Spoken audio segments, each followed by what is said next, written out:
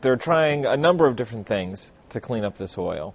Uh, the first thing and the most immediate thing that they're trying to do is they're actually trying to close the cap that sits on top of the well right now. There's a big, giant steel.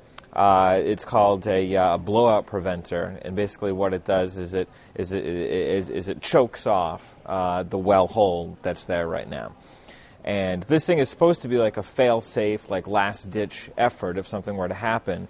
Uh, this thing is supposed to act to, to choke off the, the flow of oil. Uh, it's a giant steel thing. It's about the size of a small house. Uh, it weighs something like 450 tons. Um, and for whatever reason, this didn't work. So they've got these, the, these undersea robots down there right now, and they're trying to, to activate this blowout preventer. If they can do that, that would be the fastest, that would be the easiest thing, that would be the quickest way to, to stem the, the flow of oil.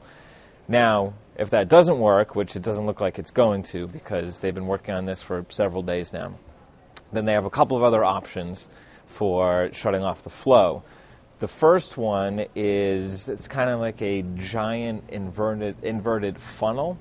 And what they're going to do is they're going to put this over the well hole. And what it does is it, is, is it collects the oil and it gets the oil to flow up towards the surface through a long pipe.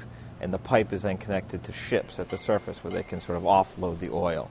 So this is a very interesting idea. It's a very novel idea. Uh, it sounds kind of crazy, but they have tried it in shallow water before, and it actually does work in shallow water. It seems to work, seems to work fairly well. They've never done it in deep water, not, not deep water as water as deep as this. Uh, keep in mind you're going down 5,000 feet. You're into 5,000 feet of water. That's you know nearly a mile below the surface. So it's, uh, it's a much different, much more challenging situation. Ultimately, they're going to have to drill into the well hole and fill it with uh, thick mud or concrete type substance. That's really the only way to permanently stop this thing from flowing. Um, all the other fixes are, are, are, kind of a temporary stopgap measure. Um, they're going to have to drill into this well uh, in order to, to, to, shut it off completely. They have a drill rig on the scene right now, but obviously it takes a long time. They have to drill down through, uh, well, you know, through almost a mile of water, and then uh, through uh, thousands and thousands of feet uh, below the uh, below the ocean floor.